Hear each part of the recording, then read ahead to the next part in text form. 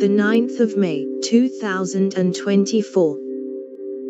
Decisive call ends Bayern Munich's hopes. Bayern Munich players were left fuming after a contentious offside call was made a split second before a goal was scored.